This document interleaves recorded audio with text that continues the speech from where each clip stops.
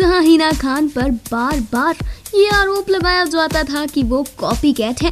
वो design copy करती है। हिना खान को कंपेयर किया जाता था दीपिका पादुकोण से। तो वहीं इस बार उल्टा हो गया है। दरअसल हिना खान ने अपने दुबई के टूर के दौरान एक ड्रेस पहनी थी।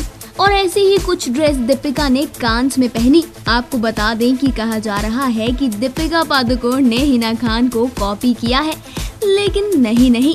किसी ने किसी को कॉपी नहीं किया। न कभी हिना ने दीपिका को कॉपी किया और ना ही दीपिका ने हिना को। बल्कि कई बार ड्रेसेस के डिज़ाइन और प्रिंट मिल जाते हैं। इसी वजह से हो जाता है थोड़ा सा लोचा। Final card entertainment desk subscribe our channel for more updates